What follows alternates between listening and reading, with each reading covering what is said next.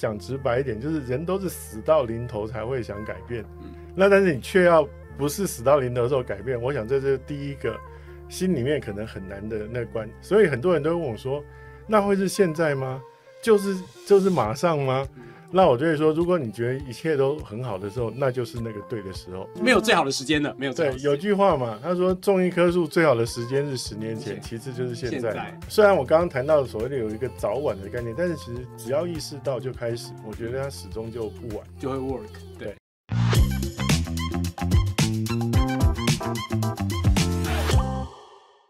嗨，Hello，大家好，欢迎回到赛恰，我是 Inside 的编辑米娅。我是 Fox。那今天我们邀请到的来宾是呃呃李全新啊，但我不确定他现在的 title 是什么，因为呃就是请这个老茶我们自我介绍一下。好，各位塞叉的听众，大家好，我是老茶，对，我现在是一个中年级实习生，哦，然后也是一个出租大叔。出租大叔。对哦，呃，但没有呃，那有没有什么？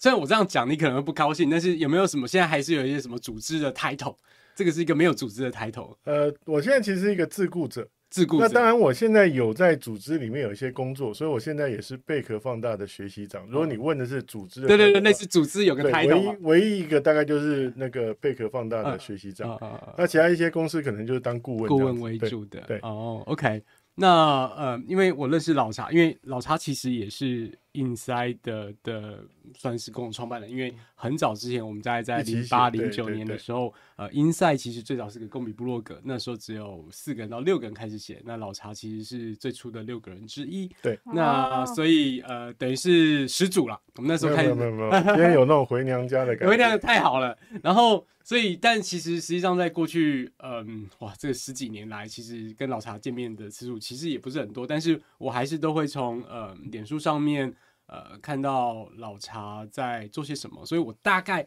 可能有一个大概的理解。所以我其实。呃，从以前认识老茶的时候，老茶最早是在雅虎奇摩服务，然后后来其实是在呃 Vogue GQ，我们其实几个礼拜之前有找过康安对对，纳士的那个 CM 那集我有听。对，找了康奈纳斯的 CM 啊来来上节目。那老茶曾经在那边服务过，对那这我们稍晚可能有机会再聊。那离开了康奈纳斯之后，呃，老茶等于就是开始自雇者，然后这一个呃中年大叔、出租大叔啊，呃呃呃高年级实习生啊 的的的的的的工作啊是那嗯，可以跟我们讲，就是说，因为过去在这这是几年，二零一五、二零一六。呃，离开康奈纳市是一八年，哦，所以其实意思呃大概五年五年前，对。那在那之后就变成是一个自雇者。我知道，其实，在现在年轻人其实非常多人做这样的事情啊是，freelancer 或者是自雇者的工作。但是，嗯，因为毕竟你其实打打帮别的公司打工，其实也超过了，我都乱讲，我猜应该超过二十年以上，二十五年。二十五年。对那这个这个工作的时间非常的，但是为什么会是在一个这样子的时间点之后？嗯，开始做自己，而不是在说我我我我在康爱当一个我不知道是怎么长数位长之类的。那我之后在一个呃之后，我通常大家都会哦，可能在一个长或者是一个顾问，但这个这个这个决断点是的思考是什么？好，呃，我在康奈纳是最后的职务是他们的副总经理，然后同时管那个编辑部跟数位的部门。好，那那个时候会离开，其实当然是因为说我自己在一五年的时候加入康奈纳市，然后一七年的时候就很幸运的，就是呃业务的同事也很很给力，然后我们当然也表现还不错，所以那个时候康奈纳市的那个数位收入已经超越了那个纸本的收入，而且是总收入扩大的情况，所以我自己心里面已经有觉得说，嗯，好像应该算是有达到一个里程碑的那种感觉，虽然说一半的功劳不是我的，好。然后后来结果就觉得说，嗯，好像想要休息一下，所以我在一八年那个时候就在一次长假之后，然后通常长假就是会做这种决定的一个一个一个时间，所以我在我在英国度了一个假，然后十几天回来之后，我就马上寄了信给老板说我要离职，那就吓到说奇怪，你才刚休完假回来，为什么要要离职？那我说呃，其实不用担心，我会给你。三个月的时间，就让你那个慢慢的去安排我后面的那个工作，这样子。所以我那时候其实离离职前就是那个三个月前就就提了，然后那个时候就是打定主意要休息一季，因为就觉得蛮辛苦的。好，那结果在那个休息的过程里面啊，就发生了一件我觉得改变我整个后面的职涯的一件事，就是我以前在雅虎的老板，呃，本来是我们拍卖的那个主管，后来其实他变成雅虎总经理，就洪小玲小姐嘛。然后他就刚好就知道说我要那个离开，然后就说，哎，那就吃个饭聊一下好了。好，那我就说好。那后来就那个吃饭聊的时候，他就问了我一个问题，他说，哎，Charles，你有想过你会工作到什么时候吗？那在那之前，我的官方版本都是做到做不动为止。好，那其实有说跟没说一样，因为所谓做不动为止，也不知道是什么时候。他就说：“那你有想过大概是几岁吗？”那我就认真的想了一下，我就说：“其实应该就是我的，譬如说寿命的那个大概八九年结束等八九年前吧，这样子。”也没有讲啊。好啦，就说：“那你知道台湾人现在的那个平均寿命已经八十一岁了吗？”我说：“哎，我不知道哎。”那我那时候就很快的想了一下，说平均的意思就是抓长补短嘛。所以如果假如你保养的好，其实可能也许是九十，甚至更更长。而且家母已经八十四岁了。那如果说假如就是那个我有遗遗传他的基因，其实我也有很有可能会这样。那我就想一想，哎，不对，那个所谓的做不动，应该就是指七十几岁。但是现在没有工作可以让我，就是只上班族工作是理论上是做不到那么那么后面的。那我就突然觉得，哎，这个事情好像值得想一想。那我就当然也问他说，为什么你要问我这个问题？然后他其实他提到说，因为他自己一直都是高阶经理人，他也觉得他的工作是用一个比较高的压力的一直在做，所以他自己也在思考他的那个职涯的一个想法。那我在那个时候我就跟他讲，我说小丽，如果假如你有想要探索一些像这样子的。有机会的话，我能够就是跟你一起嘛，因为我想说有有个前辈这样子。好，那后来就反正我们就开始有组了一个一个社团，叫中年级实习生。好，不是，对不起，我刚刚讲高年级，现在是中年级哦。对对对，失策。高年级是七十岁那种，已经预测会活到九十岁了，所以现在是中年。对，现在是中年。Sorry，对，OK，没有没有没有没有。好，那后来其实我就因为我一直在二十五年的职涯里面都在做上班族。我觉得我自己算是一个蛮做的蛮好的上班族，但是我不懂得上班族之外的工作要怎么做，好，所以那时候就开始探索。所以刚刚讲到的那个实习生的概念，是因为我我不知道，我有点像年轻的时候要去实习一样。我现在在实习一个新的职涯，然后出租大叔其实是那个时候第一个开始。那我就想说，反正不知道干嘛，就干脆就把我自己就是租出去好了，所以你就可以。那个花点钱，然后跟我约时间，然后跟我聊天，或也许来咨询，然后所以那其实是有一点点意外的开始的这个这个探索的旅程。那就开始这样子咨询，然后呃出租，这个在持续多久？呃，从那个时候一等于是一九年的一月一号，我就有了一个呃办公室，然后我就在里面就你可以跟我约时间在这边。那其实一直到到现在，那当然中间有经历一些不同的变化了。举例。像那个二零年，我们大家都知道，就是什么事情发生，就是 COVID nineteen 嘛。那那个时候其实就没有所谓的咨询，就是面对面咨询这件事情就是不可能的，所以那时候当然就要去做一些别的。所以中间其实有一段时间有在做那个线上的内容、线上的课程，跟商业思维学院合作啦。然后我自己也做一个小小的内容的订阅，就是付费订阅的服务啊，反正就是一直去试一些不一样的东西，对。那呃，我记得还有说书，对不对？对啊，这这这都是当时间的尝试。是哦，那那其实这跟之前嗯上班族最大的不一样是什么？我觉得其实当然有一些基本上的基础的不一样，就是第一，像是那 个像 COVID nineteen，然后不管怎么样，只要你的公司如果假如呃活得好好的。你基本上就还是有薪水可以领嘛？那但你说像我们这种自雇者，当时如果说假如案子，比如说不一定那么顺利的时候，当然就没有这回事啊。所以每次大家在讲什么台风假的时候，我就心里想说，这就是上班族的福利啊。就是你说像我们这种自雇者，哪有所谓台风假这个概念？就是你不做，就是就就没了嘛。对，好，那所以我觉得这个当然是基本的心理安全感上可能就有一些差别。好，那另外一个，但是好的是。我觉得我现在的工作的摩擦力相对低很多。所谓的摩擦力是，当你在组织里的时候，其实很多事情是不由你自主的。你你要处理很多的沟通、协调、说服，然后劝诱等等等。所以一件事情从开始谈到真正发生，搞不好已经是好几个月之后了。那但是对我自己来讲的话，现在一我自己的事情当然就自己可以决定。二我也可以决定我的客户或者是我要跟谁一起工作。所以当我觉得说这个事情如果说不如我的预期的时候，其实我是很快可以去做一个调整的。啊，对，那我觉得这种摩擦力其实降到非常非常低，那这当然是我觉得比较好的地方。可是，嗯，就是说，因为我们习惯了领薪水，那领薪水过了一阵子，你就觉得说，那你你你你你怎么去跳脱这一个安全？因为毕毕竟老茶年纪比较长一点点、啊，对，我是老头。然后所以拥有一点呃，基本上会有一些积蓄，所以你那时候会给自己大概多久时间去呃，假设做这个万一这件 gap year，对对对，这件事情假设不顺利，你打算怎么办，或者是你怎么去评量这件事情？但是我那时候还算幸运的是，因为我真的有一笔钱，所以那时候算过，大概应该一年，如果假如不顺利的话，至少还可以撑得下去。那我想说，给自己一年的时间，如果假如还，譬如说真的试不出个名堂来，那你也只好认了。那但是我当然一。来就觉得说，我应该不会训到说一年都还没有搞赚不到什么钱，对，那如果是这样的话，那那那显然真的不要想太多，乖乖回去上班。对对对，嗯所以我那时候其实的确是有一个一个余裕来做这件事，算是我比较幸运的地方。好了，但是我觉得其实坦白说，真的开始之后啊，也发现说有很多的机会是你必须踏出这一步之后，它才会出现，因为平常他不会来找你。他也没有觉得说好像能有机会跟你用这样的方式合作，但是当你自己变成是一个自雇者的时候，人家才有机会来问说，那你可不可以用这样的方式？对，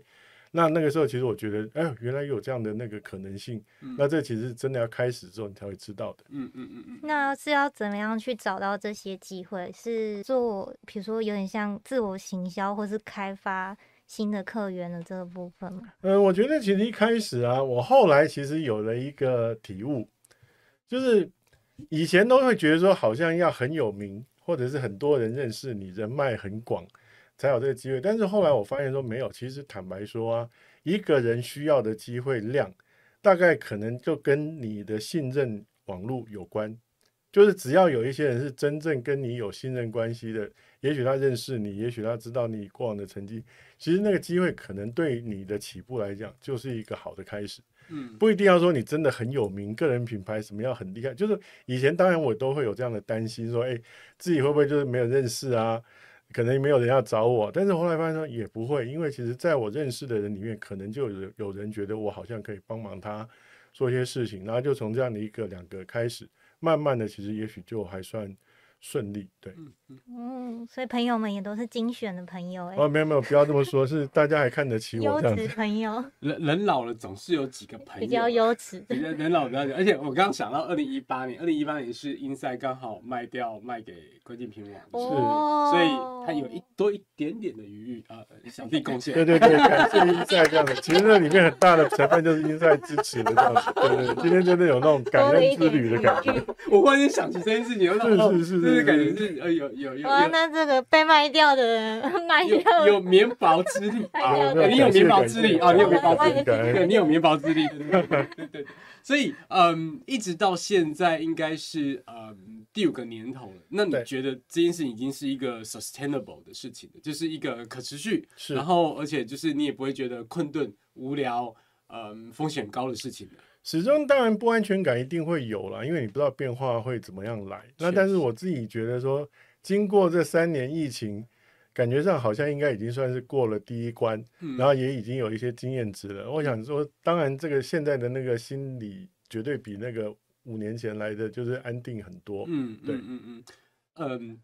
如果呢？如果今天是我，我猜测应该会有很多比较，嗯，应该各式各样的人会来问你问题，嗯那可能也也会有年轻人。那假设如果今天是年轻人做这件事情，你觉得跟你最大的差距，或你会给的建议会是什么？我觉得这里面有两样啦。嗯，第一个当然就是年轻的朋友，就像你刚刚有点半开玩笑说，反正人老的就朋友自然就多一点嘛。那我想年轻的嗯的朋友，当然这个部分也许可能相对来讲，跟我们这个年纪来讲会有一些落差，以及其实他的确也可能会需要一些在经验上面的那个补强。那我想，所以这个部分来讲，当然他必须要先从一个真正，我觉得对他来讲掌握度很高的利基点开始，他绝对不能就是说好像有点就是那个左右试试看，因为通常来说，这可能也许那个试错的几率会蛮高的。嗯好，那当然另外一个，我觉得其实也是年轻的朋友有一个好处是，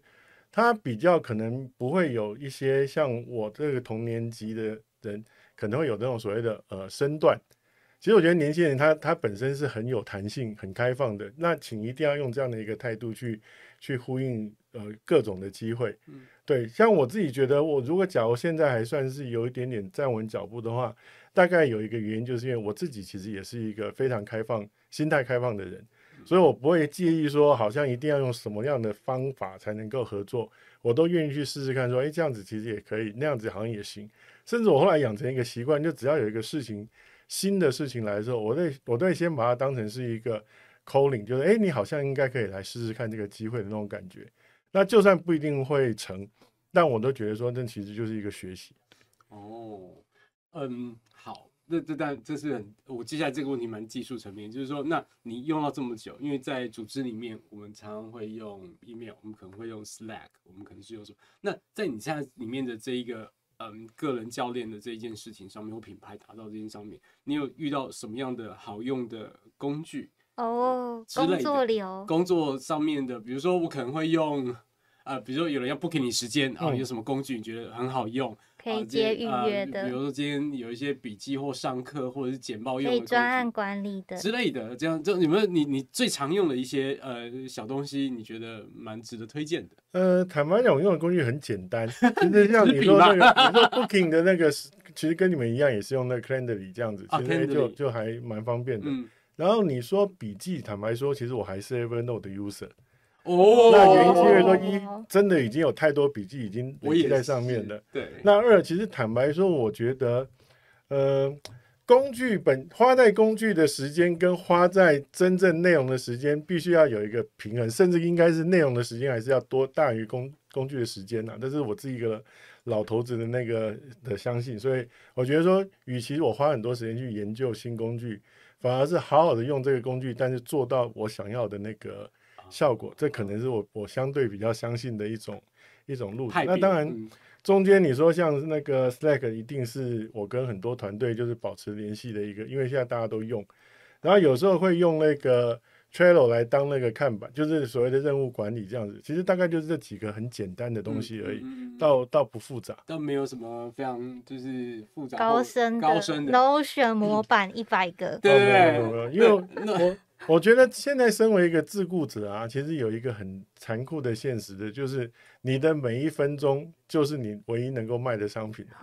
对，所以你花在那个没办法卖的事情上面，显然就可能花就比比较吃亏。所以我自己有点就是比较务实的看，那我时间如果只有这样一点，有时候还要休息，还有时候要看剧，那那那那大概就可能只能从现在这个部分去尽量发挥到一个程度。那这样心理压力会不会很大？就是真正在休息的时候，会觉得我在浪费我自己的钱。呃，也没到那个程度，但当然就是一定会有一个警觉啦。所以像那个我我现在的确就是常常会看我自己的那个行程表。如果说假如哎发现有有时间没排好，然后就有点嗯，这个是不是能够来弄一个什么事呢？有没有那个谁可以塞满，对？很想塞进。对，所以有时候来想想，人家都有一个错觉，觉得说自雇者的时间弹性好像蛮大，没其实没有，反而会希望说尽量把它排。那甚至可能就会常常有时候就会嘎不进去的那种感觉，对。那那那另外一个讲时间这件事情，就是说，那你不会觉得这个上下班的分野没有所谓上下班，就是你怎么去，你有呃，第一种是你有你有很好去隔刻意隔开上下班时间，还是其实你就是混着，你也无所谓。我大概比较大的一个没有弄好，就是所谓的六日。以前六日真的就是纯休息在上班的时候，但是现在其实比较没有所谓的纯六日，就六日可能还是会安排一些工作或者是事情来做。那但是每天的，就是说晚上这个时间，我会尽量就还是让自己休息，因为也知道说这是一个持久战嘛。如果你自己 burn out，其实也也也不是好事，所以目标晚上活到九十岁，晚上我还是会尽量是不要忙太忙，那但是难免其实还是会有。那我想其实这个这个就就真的没办法。嗯嗯嗯嗯嗯，因为我像我我自己是，呃，我自己几乎是没有再分呐、那我自己也不觉得这有什么问题，我现在这样觉得没什么问题啊。所以，嗯，我只是好奇别人是怎么做这件事情的。我觉得好像每个人有自己的那个能量恢复的方法。像我的话，可能就是看老电影，就是在那一种就是让自己完全，因为你已经知道剧情，然后你也不会去去担心，然后你就很自然的就是沉浸一下，休息一下。我我习惯用那个方法去恢复我的能量，那显然就一定要有一个时间要能够看老电影这样子。对，嗯嗯。所以呃，我可以问冒昧问一下，就是说，比如说像你觉得这样子比较稳定的，你大概会有几个 client，就是你的客户或者大大概这个心里的感觉会是多少的数字啊？呃，坦白说，我自己觉得啦，就是说我的收入大概要到二十万以上，我会比较放心。我靠！对，那每个月这是月嘛？每个月对，所以我我现在就是尽量想办法让这个水位有维持。对对对，哇！那当然就是说，这里面一定就是要用各种方法来组合出这这个钱嘛。对，所以这就是我呃烦恼，就是烦恼在说怎么样去把这个组合，就是去维持最佳的那个状态这样子。对，哇哇，其实这还蛮蛮蛮厉害。我相信这个应该是蛮多人心中，尤其自顾者他。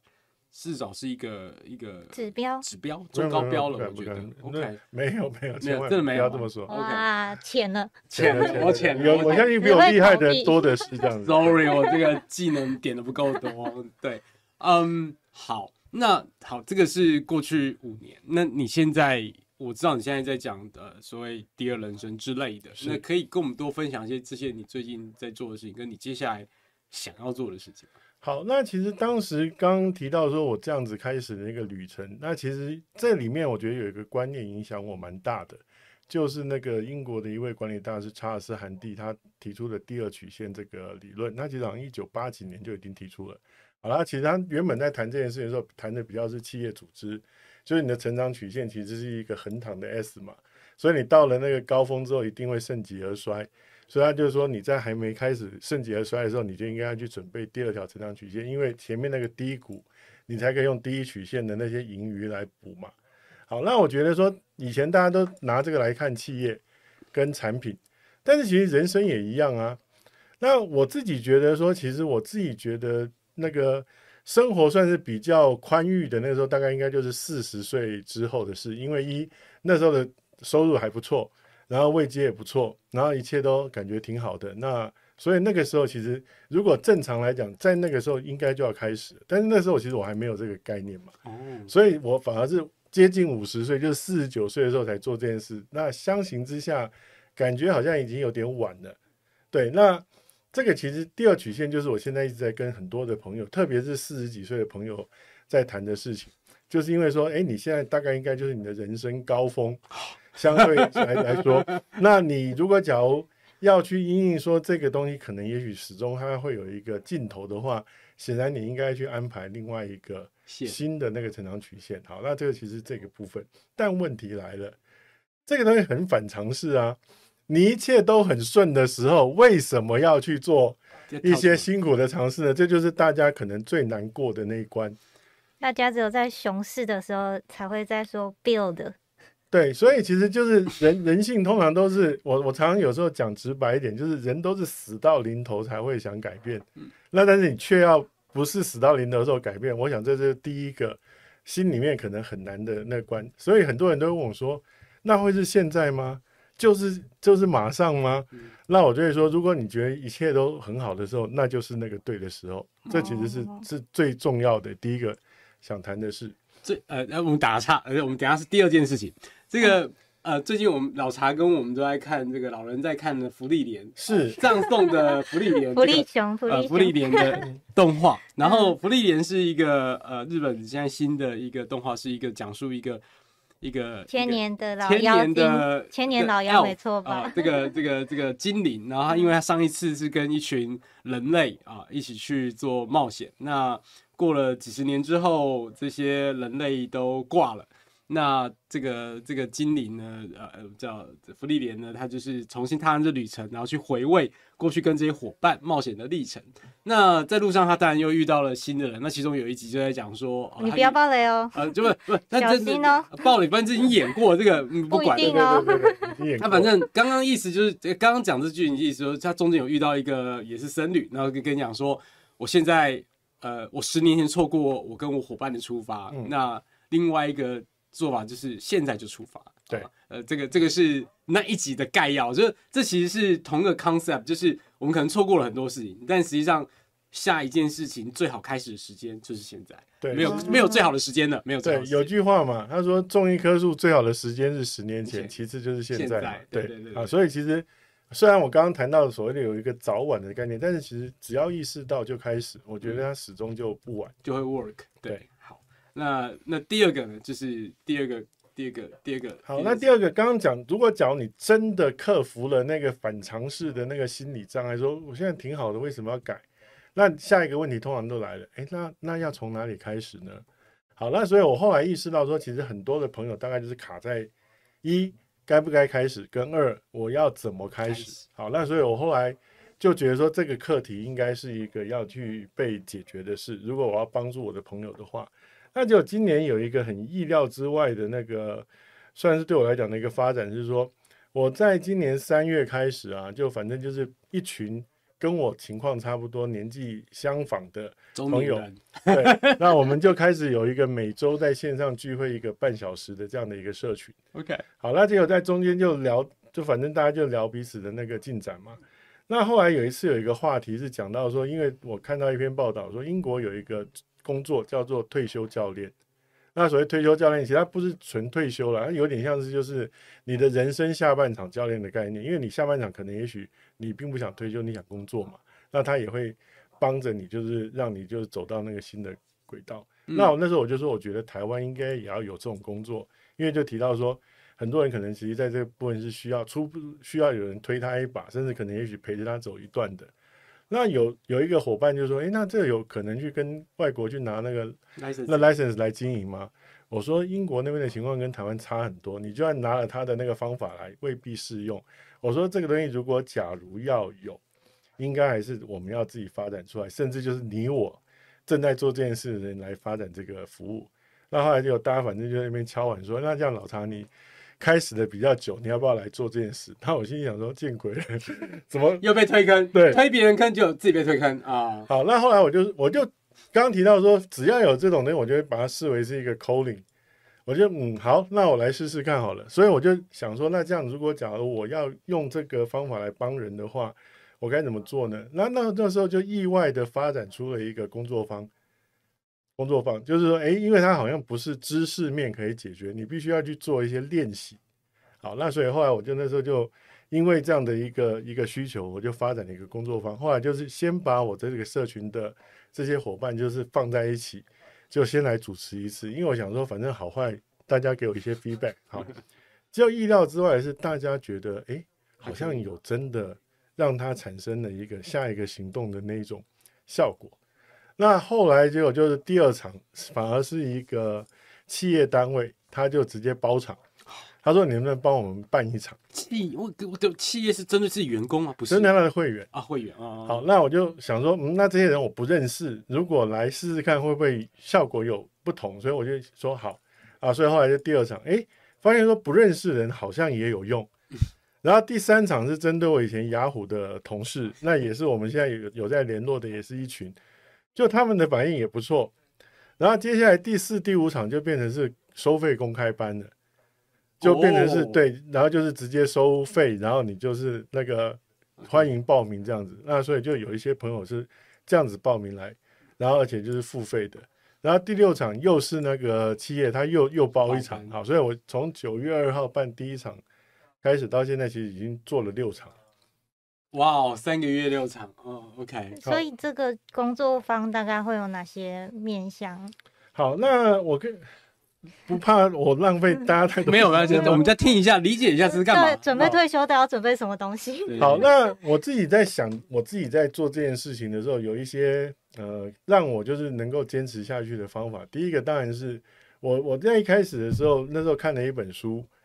它书名叫做《大人的周末创业》，然后其实它里面有一个方法，我觉得蛮有趣的，它叫你写你的人生年表。好，人生年表，所以那时候我就开始写我的人生年表。结果写完我的人生年表之后啊，我意外的发现说有一个事情，我已经我本来以为它已经过了，但它却影响我非常非常的大。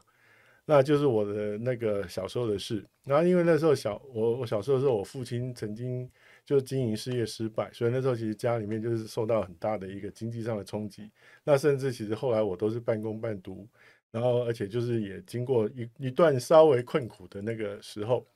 好，所以那以前都觉得说那个事情就过了，但是我突然后来从这个年表里面才意识到说，我之前对于上班族职涯如此的坚持，就是因为那个是没有风险的。但如果说假如我不是一个领薪水的人的时候，我就会担心说，也许搞不好搞不好就跟我爸一样啊。好，所以我就是说，哦，原来我以前那么讨厌，就是所谓的上班族之外的事，是因为这个影响。那这是第一个。那第二个是，发斯还记不记得？就是说，其实我是很喜欢收集什么玩具啊这样子的。其实我后来发现说，原来那好像也是我的童年的一个补偿的一个无限延长版。对，所以我后来很自然的就把这个嗜好给戒掉，而且一点都无痛，因为我发现说，哎，你都已经 五十岁了，你要补偿十三岁的你，到底要什么时候？所以我就突然就哎想通了。好，那所以这个其实是我的那个方法论里面的一开始，我会要参与的人先完成这个人生年表，就是来参加工作坊之前，我就先发给他，然后就请他先做，然后但是来的时候啊，我会请他做一件事。想办法把这个年表用一个曲线的方式给呈现出来，嗯，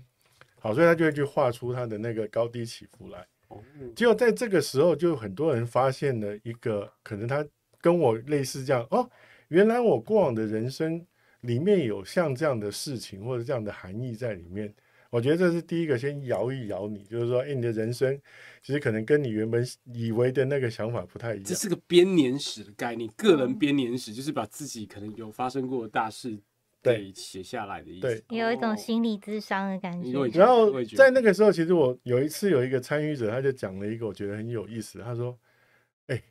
我本来觉得我最近这五年大概是人生里面相对辛苦的，但是当经过你这个人生年表跟 画完这条线之后，我发现我这五年其实比起之前根本也没算什么，所以他就突然有了一个不一样的那种感受。好，那从这个当做是起点，那第二个 part 我就在中间有一些方法，让你对你的现况也许更加的那个具象化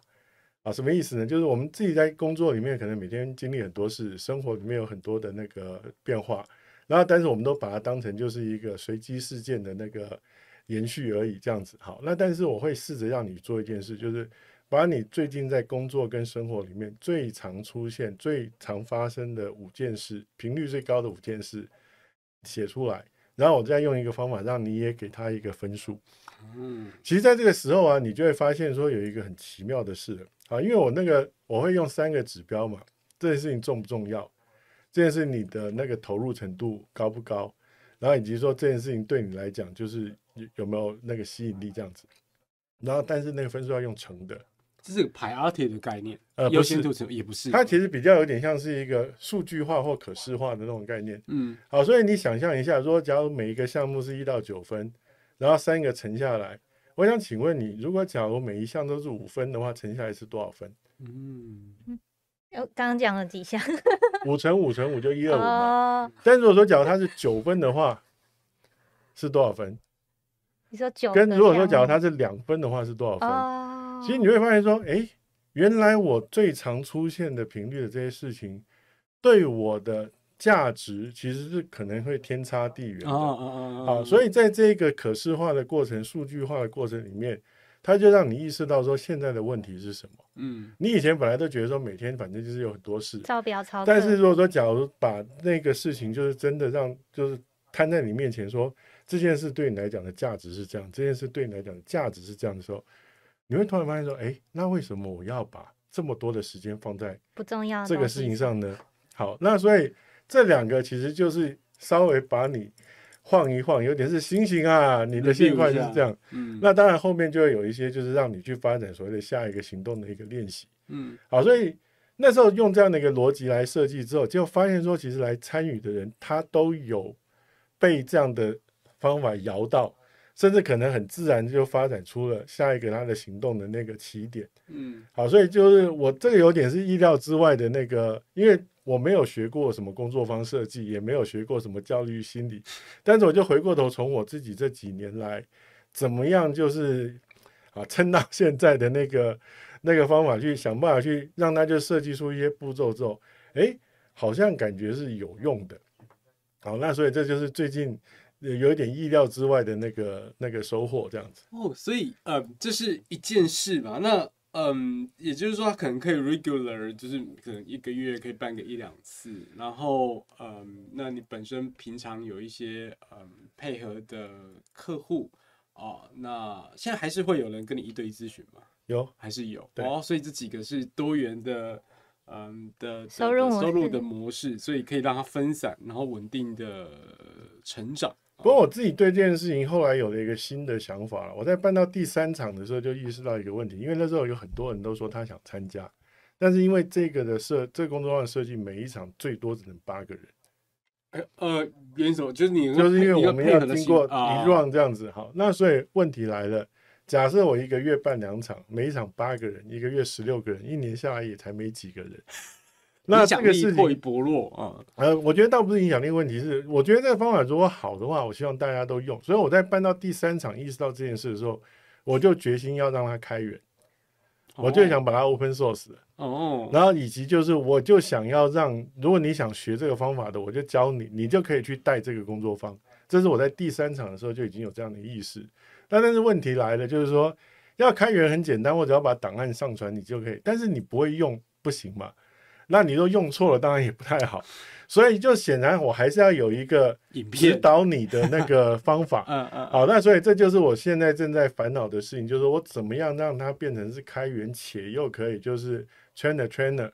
好，那所以这就是我明年大概应该会开始花点时间来的。那有朋友就说：“哎、你这个本来是你独家的，那你说开源出去之后，那你到时候人家都不找你这样。”我说没关系，因为这个东西其实我觉得我本来就没有想把它当成是一个所谓的工作，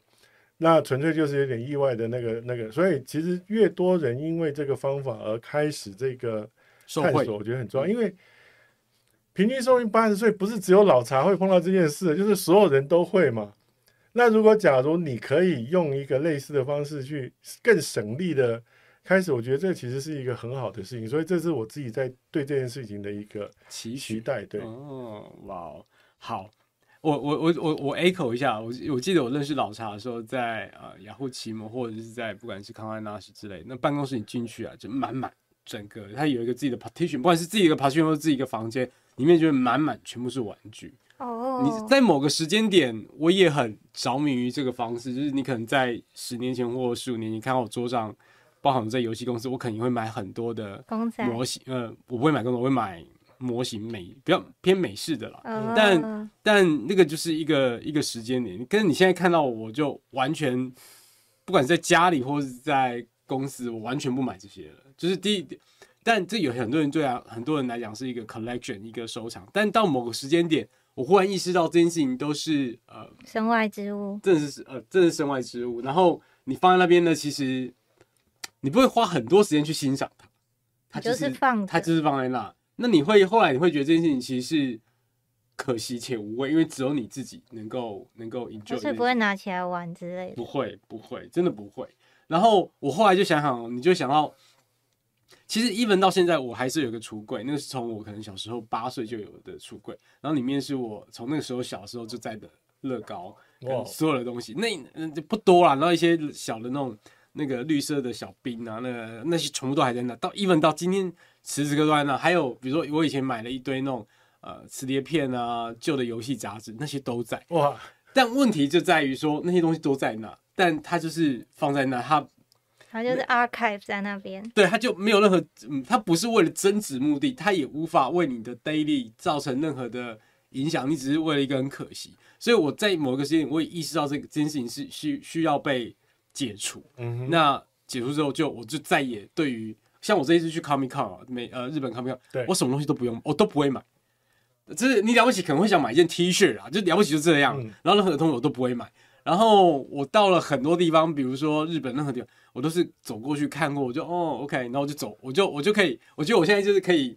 这个很轻松的度过这整件事情。我现在也是，其实我还是会去逛玩具店，对，我也对我还就去看，哎，哇，现在技术超赞的，这个哇工好细，超。但是就看完就走了，对对对对对，就很很 peace 这样。对，就就很 peace。然后这个完全不会有动念，很难呢。我现在觉得哇，这件事情对我来讲已经变成是一个非常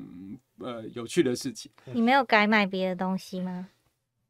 币，没没有没有那个那个是为了投资嘛，那是投机啊，投机不是为了投资。对，然后第二个是嗯，就创业失败这件事情，就是说嗯，我我我父亲我爸他以前也是在。呃，大同就是呃，台湾就是那个时候，我记得我小时候，大同其实非常的好的一家公司。对，是是。然后那他现在呢？现在当然就资产股啊，不是啊。但是呃，我记得很棒的时候，我最最好的一件事情就是，那大同那时候非常好。那我在中山北路的一楼呢，它以前是个图书馆，就进去有各式各样的书，然后我就会看到什么有那种太空的啊什么的，我记对那个太我对大同印象无敌霹雳好。那后来我爸自己跑去创业。然后我也印象就是，就是呃有好有坏。那当然后来，但是嗯，没有没有没有成功了。那那当然会影响到呃家里。然后我对于我我也一样，就是我其实我那时候打定主意，我绝对不会创业。结果你后来就创业了？不是呃，这当然中间有很多的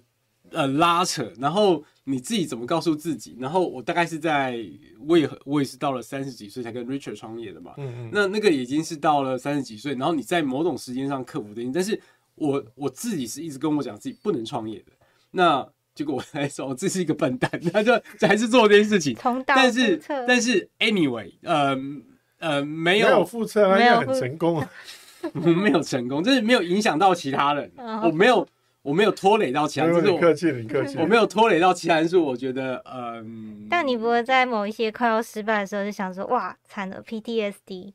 就是会不会？还好，我觉得好像没有碰到这件事。没有，没有，没有，没有，没有，有啦，有，一定有。但是呃，路径不大一样。然后我也觉得我走的比我爸稍微远一点点，就是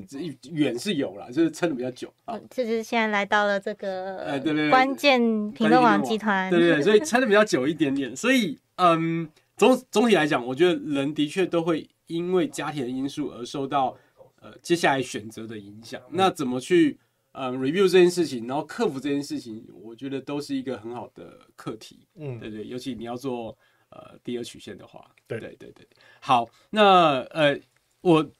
我想跟嗯大家可能对于老茶不是怎么熟悉，就是哎老茶，你可以跟我们聊一下，就是说你以前年轻的时候怎么进到网络圈？那在进网络圈你是在干嘛？好。其实我的第一段职涯反而是出版，就是现在大家在讲说，哎，已经是那个对。但是我那时候其实，那时候其实坦白讲，出版是还蛮好的，甚至有一度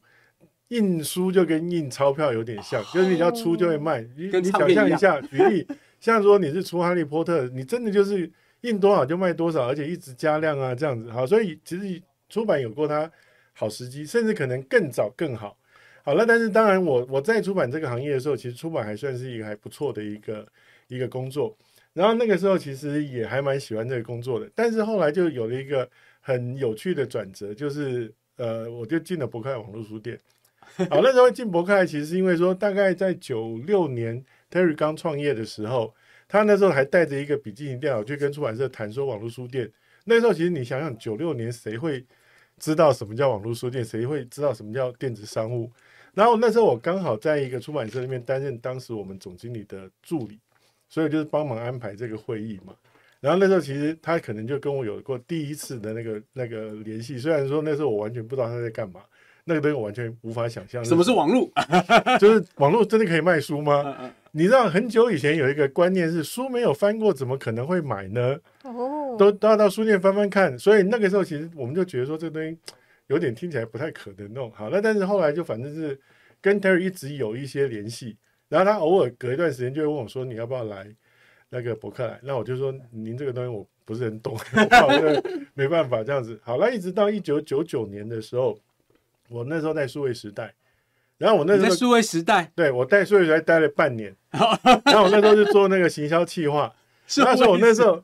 我那时候有一个工作是。当时的那个法尔克是在那个 那个环亚，呃，对，环亚那边，现在叫做 Momo 吧，Momo 百货。对，不过那时候环亚是在不，那时候 Flag 在地下楼，嗯，然后它有一个场地，然后所以时代每周都会在那边办讲座，那我就是要负责去 host 这个讲座的，呃，就 Meet Taipei 啦，创业小聚，好，类似这样，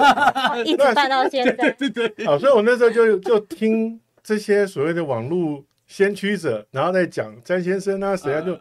那我就哇，网络这东西原来这么有搞头哦，有搞头这样。那后来那个时候，Terry 他就又说：“哎、你要不要来博客来？”的时候，我就说好，所以我就去了。好，那那时候去了博客来的时候，其实那个是非常早的时候，就两千年。两千年那时候，其实连 Seven 都还没投伯克莱。伯克莱那时候，你想想看，九六年创业，两千年那时候也还是一个新创。啊那不是个 bubble 要开始了吧？对，那所以我们我一进去的时候 Bubble 就开始，了 好幸运啊！天哪，就怎么回事这样子？好，那但是因为我自己本身做出版出起起家嘛，然后我对这事情还是有一定程度的信心跟热情的，所以我那时候就觉得说这东西应该还是可以，所以我我也没有离开，然后就继续做。然后那时候我还记得，其实坦白说，如果假如讲到那个 Seven 这一块啊，有一个我自己觉得蛮有趣的小故事，只是要花点时间，我不知道有没有可以有，没有没差了，对对对，没 好，那时候是这样，有一天我那时候刚进去，然后就是所谓的行销主任，然后我上面还有一个老板。那后来就有一天，那个 Terry 就飘出来，那时候我才进去大概半个月。他说：“哎、你们经理在吗？”我说：“哦，经理出去那个参加那个记者会，因为那时候 Bubble 还没开始，每天都有记者会。”他说：“那你进来会议室一下。”那我就进去。他说：“哎、那个全新啊，那个待会这个东西是一个机密，那个你还不知道，但是因为我要你转告你们的那个老板，所以我让你知道，我们跟 Seven 正在谈那个取货付款的合作，我们是大概是第二轮，就是最早好像是暗色数位，然后再来就是我们几家，暗色书。然后我们那个时候我们那时候已经那个系统都好了，对接都完成了，但是 Seven 对于我们的那个行销这个部分，觉得说好像不太够。那所以那个你待会你那个经理回来，你跟他讲说，明天我们要给 Seven 一份新的行销计划案，然后那个明天然后我那时候，因为我第一次听到这个事情，我也不知道是怎么回事，反正我就是如实转述，所以后来主管回来，我就跟他讲这个事情。他说：“这有点难的，因为我们之前在计划案是写了一个月的，那就算要改，也要知道到底他比较在意的是哪里不够那个，总会没有沟通的情况下，就明天要交一个计划案呢？那那这样不行啊，就是老板怎么这样？嗯那身为传话的人想说，糟糕。好，那后来我就跟我的主管讲，我说，呃，刚刚的情况，我看总经理是已经答应了对方这件事，所以我觉得明天一定要有一个计划案给对方。至于会不会过，我觉得可以后面再讨论。但是显然这个动作本身好像应该要做到，这样才比较不失我们好像的承诺的那个。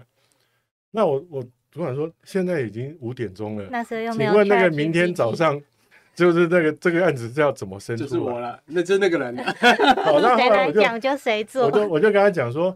我我说老板，如果您不介意的话，因为我之前曾经有当过就是那种企划文案，所以写企划案也算是我的一个算是那个那个基本基本专长之一。如果你可以让我看一下这个案子的资料的话，也许我先来写一个，然后但是我们争取明天好好跟 Seven 讨论说怎么改的这个空间好吗？那当然你你想做就给你做啊，所以他就当然就好啊。结果他就给了我一箱资料，然后我就看资料就看到八点半，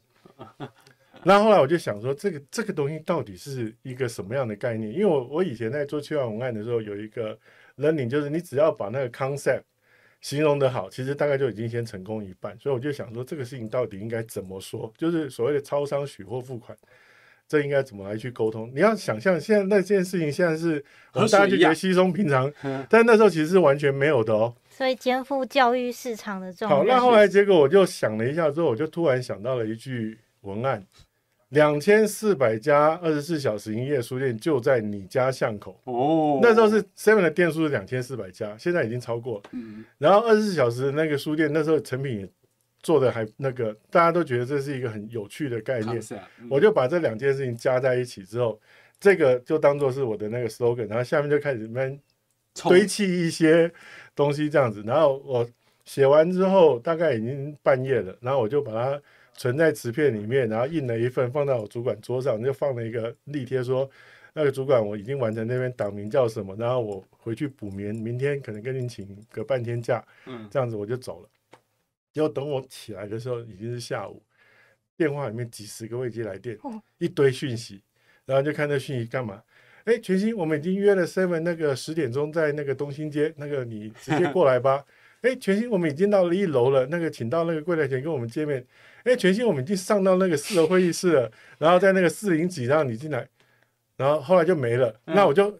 紧张，赶快就打电话问说，呃，现在如何？他说，哦，过了。嗯我说，我，所以就谈过了这样子。他说不是，你的案子过了嗯。我说哈，这样子也会过，那可能就是那个 concept 嗯算是有卖到容。容容易理解啊。好，那所以后来这个案子当然就交给我负责做嘛。所以我觉得那个其实是我的一个，就是你刚刚讲网络工作的起点，大概那个就是一个所谓里程碑，从出版跳到网络，而且就是因为一个很奇妙的那个机缘，就开始做了一个还蛮。就是以当时来讲，算是一个蛮复杂的那个专案，哎，后来其实就就就就后面的那个旅程就开始了，对，嗯所以呃，那你一路从呃在福克海待多久啊？呃，待了两年多，啊，两年。对，然后后来 Seven 就投资了嘛，嗯嗯。然后后来也那个也也经过那个纳利风灾淹水嘛，哦就是那个对耶，对我那个时候就是那个穿着那个连身的那个雨裤，然后在那边冲冲那个泥淖的那个仓库的那个那个人这样子，对，最辛苦的时候就是这样。那时候就是反正呃风灾啦，然后淹水，然后那时候呃比如说在东兴街之类的那边有很多地下室，那边以前是有机房的，然后那机房整个就机房是你可以想象呃就是反正电信机房就在那就淹掉，那有很多人的这种网络服务的机器就放在里面，然后就全部淹掉了。对然后这边还有书的，然后都付之一炬。对我认是识，水呢，不是炬。对对，付之事啊，对付之一水啊，付之一烟 啊。当当时其实伯克莱跟那时候就是新学友书局投资的那个馊主意都都都完全都挂淹光了了，对。然后我记得，嗯，有一个游戏公司也这样子刮，那那个人那个老板我也我也还认识，就是什么，反正就很多啦。那时候很多灾难是是是，那那个真的是一个重疾这样。重疾，对。然后呃，伯克莱，那伯克莱之后就进雅虎吗？不是对吧？啊，就进雅虎，哇，就进雅虎那雅虎待很久哎、对，我在雅虎待十年。那那时候那时候其实进雅虎也有一个很很有趣的那个转折。当时其实是因为我先在雅伯克莱辞了，然后我就通知那个一些工作上的伙伴说我离职了，然后还在找。那那时候雅虎的那个窗口就说：“哎，那那个要来聊一下吗这是零三年？”嘛？零二年，零二哇，这是雅虎最我这样讲不太好，但就是也是最辉煌的时候。呃没有，最后的时候正要开始，对啊，正要开始，啊就那时候其实才刚才是刚合并完，然后还在经历那个所谓合并的那个磨合期，然后但是所有的那个东西就在那个 moment 要要展开。对，我那时候进去的时候，雅虎才一百多个人。那我为什么记得？你知道，因为我是福委，我是要发那个三节奖金的，所以我每次都要去给大家签名。所以公司有多少人我都知道，因为我就是那个那个给大家签名的人。好，那时候那时候，那其实那个时候窗口本来是引介的是购物的一个位置。嗯嗯大家想说你是做博开网络书嗯，店嘛，合理啊，EC 啊，好，那结果那次啊，就是跟那个 Rose 约了，然后就因为呢当时一百多个人，他就会直接见，然后结果他就本来聊的都还算蛮 OK，就差不多了。他突然就丢了一个问题，他说：“哎、c h a r l e s 我问你哦，你觉得网络拍卖在台湾做得起来吗哇，嗯？”然后结果我就说，我就想了一下，我就说，网络拍卖如果要在台湾做得起来啊，那大概就是要雅虎了。他说：“年轻人不要这样，你来应征工作，然后我问你这个问题，你就开始拍马屁。”就是他说：“年轻人真的不要这样。”我说：“不不不，我说我讲这句话是有我的根据的。”好，那我说，其实我觉得啊，拍卖这件事情，它要有一个信基本的信任度，才可能就是有人会卖，有人会买。那我说这个信任度是很难建立的，所以谁来做都难。但是我觉得你们雅虎有一个东西叫雅虎奇摩家族。嗯那我说，因为我自己也收集玩具，其实我本身就是社群里面互通有无啦，然后去那我说这个东西其实我我是有感觉的，所以我觉得如果假如拍卖要能够启动这个信任度，有很有可能会从家族这种机制的那个已经有的那个信任开始。他说真的吗？我说坦白讲，就是您问我，我就是这样说，我也我也不知道啊。他说那你有兴趣做拍卖吗？然后我就说哦，也也也可以，因为我想说我是来找工作的，就是什么都可以这样。所以后来我反而就进了拍卖。哦，那我进拍卖那个时候啊，拍卖其实正式的员工只有我是第四位哦，因为当时连小令他都是兼着做那个行销部主管，然后同时 take care 拍卖，所以他都还不算是完全就是就是那个全全全全部做拍卖。那真正就是当时完全全职做拍卖的，就是前面有两位 PM，一位那个 engineer，然后我就是第四位拍卖的正式员工这样子。哦，好，所以那时候就开始做这个事情，然后这个就从刚开始什么都没有，什么都不卖，然后一直到说收了两个费用，就是先收那个刊登费，后来收成交费，我就是等于从那个一一片荒芜，然后做到就是说它成为一个成功收费的服务这样子，然后就这个就大概就是我在雅虎的第一个工作历程这样子。那个时候你进去的时候已经那个广告打了吗？什么什么都卖，什么都不奇怪。没，有没有没有，那个其实是 你有听过这件事情吗？好像有啊，没有哇！那个就是上，你看你想想看，零二年呢，现在等于二十年前的那个事情了。那个时候呢，呃，雅虎拍卖，呃，那时候有 eBay 吗？有。有，那是 eBay 是是另外一家公司。对当当时的情况是这样子，当时 eBay 在台湾，就是他买了那个拍卖网嘛，对对对，好，那就变成是台湾 eBay，然后他当时就是跟几大入口网站。番薯藤啦、PC Home 啦、新浪网啦，本来也想跟雅虎这边就是说买固定的入口带进流量。对，然后当时其实 Rose 会问这个问题，就是他当时觉得说。我干嘛把流量卖给你？如果这个东西能弄，我们就应该自己弄啊。所以我那时候其实 Rose 他就是想要自己做了。嗯，所以那时候其实他他之所以会连一个来应征人，他都问这个问题，就是因为那那就是他当时一心里直在想想的东西的。事情。好，那所以那时候其实我们就是后来就决定雅虎要自己做，所以就跟 eBay 就变成是一个对抗的那个态势。然后当时号称 eBay 说有带了两亿的行销预算对，进台湾，所以所有的入口网站都有明显的入口，只有雅虎没有给他这个入口，雅虎就自己干的嘛。所以那时候其实那个仗第一个阶段打得很辛苦，对，因为它其实那个时候以流量来讲，它也有很大的一个一个对，所以就并不是说我们好像就是那个战，而且其实它的机制成熟多了，因为就是一美国易贝在美国做的很完完善的嘛，但是雅虎当时其实反而电子商务并不是雅虎的强项，所以那时候其实刚开始平台还真的蛮弱的。对，那时候有一个很大很红的广告，就是他那时候也是打很大广告，就是什么什么都卖，什么都不奇怪啊，雅虎拍卖。然后那个就是因为呃，然后最后会有一个雅虎啊，就是呃是这样子吧，对不对？对呃，当年的很红的广告，二十年前啊、呃现在低于三十岁的人都不知道了。对，真的然后嗯，所以因为这样子，所以呃，雅虎拍卖就整个就起来了。那你可以想象，我这样现在比喻不太好，但是呃，你可以想象现在的的虾皮，就是当年的雅虎的拍卖，对就这等同于啦，这应该应应该没有什么问题，这这应该没什么，问题。对当时真的就是首选平台，对对，就是然然后后那个 listing 非常多，非常大量，而且你要买什么都有，你可以想那是二十年前，然后嗯，而且它可以收费，而且很早期就已经收费了。对，呃，广告创意上也很好，就是跟现在一条虾皮一样嘛，像虾皮现在很多创意的行销啊，或者是社群行销的方式，广告都有。呃，其实这都不是你现在可能很难想象，二十年、二三十年前就已经，二十二十五年前就已经办到了。对对，所以这个是当年就已经做的事情。然后后来就是呃拍卖完就去无名小站对啊，负责无名小站的部分的工作。对，那个时候其实坦白讲也是另外一个一个转折，就是我自己在当年呢、其实给自己的一个习惯是每隔两三年我就想换工作，因为我就想尝试一些不一样的东西。好，所以那时候拍卖都已经成功收费，而且是收了两个不同的费用之后，我就觉得说我在拍卖的那个 milestone 好像也已经达成了。嗯嗯嗯，所以那时候其实也跟小令在聊说，那我有点想要就是离开。好，那那个时候他就说啊，真的吗？这样子。那可是因为那时候其实我在拍卖的后段，我已经开始经营社群，就是拍卖的社群也是我我我我一开始来来做的。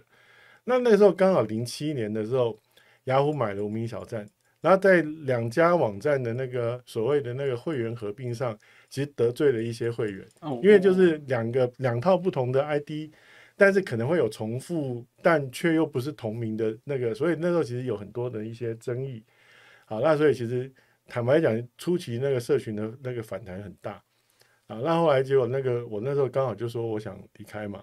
那后来就有那个负责无名小站的，当时因为就是对接雅虎跟无名有一位同事，他就说：“哎、老查，其实这个状况可能要请你来帮忙。”我说，呃，我我没有很懂那个布洛格这些的，嗯因为我说我是一个 user，但是我对这个东西没有研究。他说不是，你在拍卖里面就是经历收费这种，就连收费你都经历过，然后那种炮火隆隆你都已经那个嗯，凭什么收钱啊？这个那个黑心我们这个 羊套杀，这个应该还算是可以处理吧，这样子。那后来我听一听，我就觉得嘿有趣，就是这个是一个新的那个，所以我后来就好，那我就不离开，我就我就，所以就是零八年的一月一号正式转切调到无名小站，然后就负责那个社群的经营这样子。然后一开始当然也是有很多的那个凑 issue，这个就细节就不表了，反正就是刚开始也是很很辛苦，但后来慢慢的也把那个整个脚步稳下来，嗯。然后扶稳下来，所以其实当时很有趣，因为数位时代那个时候有所谓的 Web 一百这个这个奖，对，每年都会评比一次，连续我记得三年无名小站赢雅虎。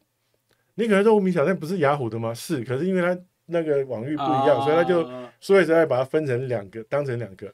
然后连续三年无名小站都赢雅虎。对，那个时候其实有一个很很妙的事，就就在我那个时候工作的历程里面发生，然后就自己就觉得说，嗯，这这也是一个很 很有趣的那个事。对，然后后来就去呃，就隔了三四年、四五年之后，就去了康奈纳市。有没有？那个时候其实最早是先去了一电视待了半年，啊，对对对对对对对这这因为太短，对我来讲，对，好像一下一闪，一下一闪而过，对对对对对对，然后然后后来就去远传。人传。啊，对耶。远，，当时跟小令第二次共事就是在远传，因为后来远那个小英是远传的执行副总嘛，嗯，那后来结果他就知道我离开一电视，他就说：“哎、那你要不要来帮忙？”那我心里想说也也好啊，就去。所以我觉得那个时候反而是正式进到所谓的数位转型的这个领域，因为虽然远传是一个资通讯公司，但是其实在网际网络这块始终不是它的主力，所以我觉得那个时候有点是才刚刚开始触碰到所谓数位转型的议题是什么。所以接下来就到康奈纳斯，就是真的有呃，就是纸媒跟整个网络，然后社群网络、行动网络啊，这个比较偏数呃整个数位转型的部分。诶，我我想讨论一个小小的议题，就是说我感觉上，我我我的观察就是我的朋友们，就是因为我不是，因为大部分人在离开一份很长的职涯工作，比如说雅虎或者是反正就比较大的公司，然后比较长的，在下一份工作。通常我觉得我的我的观察是，通常不会待太久，可能是我不知道是磨合，或是找到工作对方的期待太高，或者什么原因，然后会造成，比如说刚讲一电视那只有半年，那当然也有可能一电视原因，有可能是呃双方的意见的关系。但是你会不会觉得他，你有看过这个 pattern 吗？这种感觉就是说其，实对我来讲还好，是因为一电视当时其实有一个比较直接的原因，是因为一电视当时其实一直没办法上到有线电视嗯系统的，嗯嗯嗯嗯，好，所以当时其实我在里面有一点点无无事可做的感觉，就是因为你上不去，那我是负责社群宣传，但是大家都看不到你的节目，哦、那大家都当时所有的组织里面都说，我们先把力气留在可以上屏之后再爆发，所以那时候其实有一点点是一一直好像是在储备，但是就是不知道储到什么时候。哦，那后来其实离开也是因为说，后来黎智英先生就把一电视卖给年代了。对，那我我本来是冲着黎智英去的去的，那你都卖掉了，我就好像就不用留了。对，所以我哦，对那时候其实个理由可能不一样。好，对，大概就这样。好，那我们到末尾了，就是我知道老茶在某一年就是有健康上面的 issue，、嗯那嗯，那你现在就是呃怎么做维护健康啊？就是说你有做运运动吗？然后呃之类的，当时其实我我那时候是中风，对，对我就在公司就倒下去了，然后哪一家公司啊？在远传。哦对我那时候倒在地上之后，后来听同事转说，他们刚开始以为我们在闹他，所以还在那边咬我，然后就想说这个人还装死不行，还让我先扶在回扶回位置上，让我趴在桌上。据说因为我已经昏迷了，然后后来就发现说不对，这个人还真的没动啊，所以才赶快打电话去叫救护车。然后幸好是在那个黄金三小时里面送到三种，然后我是那个脑就是因为血压高，所以是破了。嗯，所以他赶快就是打那个抗凝血，然后就让你就是至少就是先不要结血块。然后我在医院里面就昏迷了七天，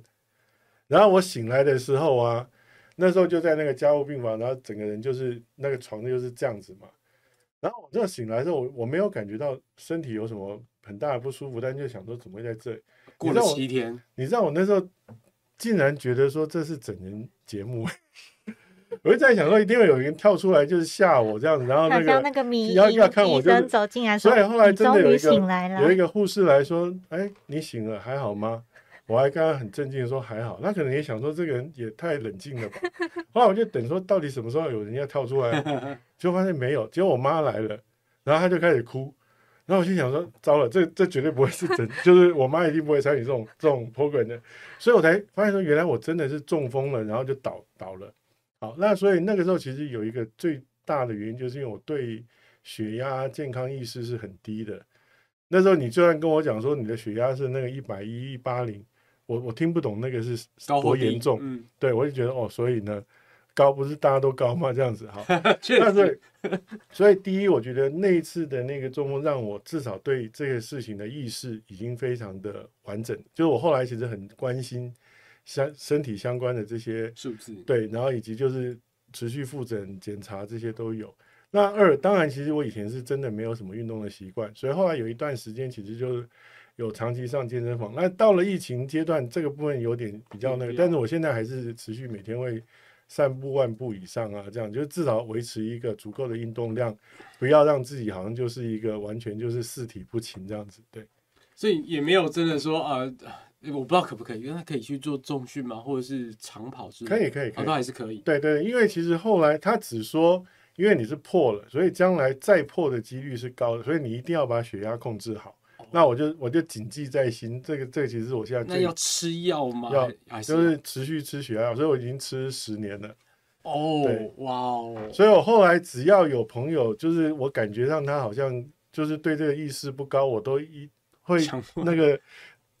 谆谆教诲他说：“你一定要量血压，你一定要注意，千万不要这样。”因为你知道我那时候在复健的时候，我本来其实右半边不灵活，我复健了一段时间，坐在我对面的大概三十几岁，他是颈部以下瘫痪。是 OK，然后我就我就看他说，哇，这个人这么年轻，他这样怎么办呢？所以我我后来才会一直劝告朋友说，千万不要轻忽这个东西，你一定要搞清楚这个东西对你很重要。嗯嗯嗯，所以呃，大家保持健康啊，注意啊，太太记得运动。对，记得运动。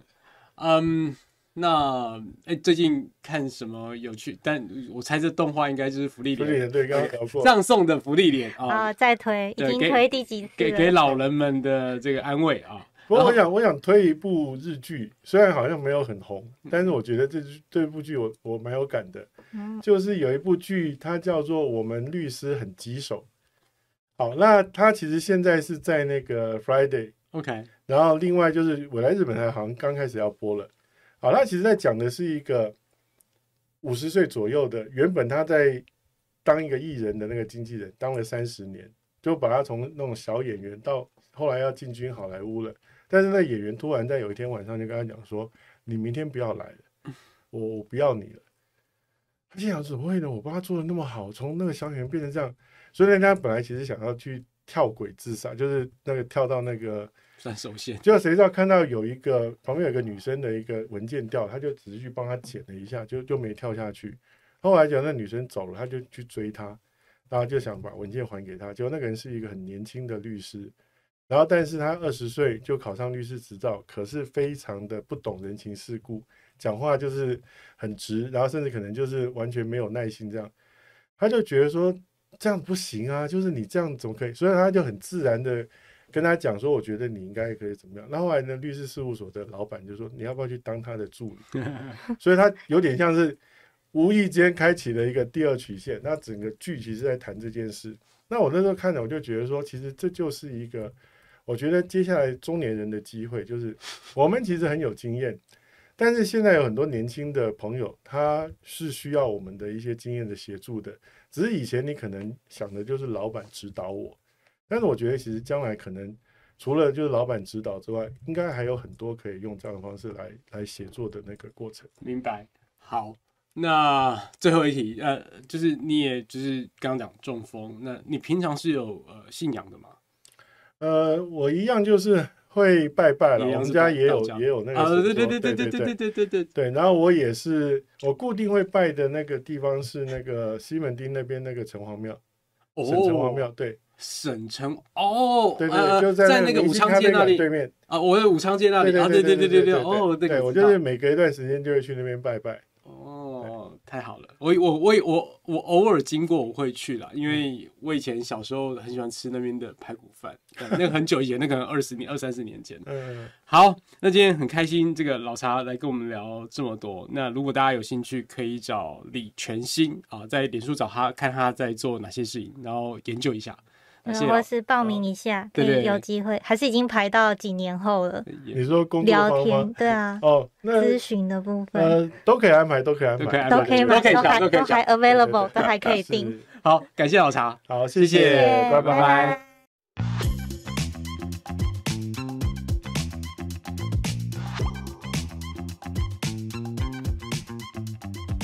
喜欢本周我们分享的内容吗？请到 Facebook、Instagram、YouTube 来留言，告诉我们你的想法。我们都会看哦。